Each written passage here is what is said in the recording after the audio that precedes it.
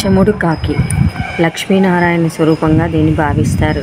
So ఈ కాకి ఎవరికైతే కనిపిస్తుందో ఆ రోజు వారికంతా కూడా మంచే జరుగుతుందని మన పెద్దల చెప్తూ ఉంటారనమాట సో ఈరోజు మా ఇంటి పక్కన ఉన్నటువంటి చెట్లోకి ఈ చెముడు కాకి అయితే వచ్చింది.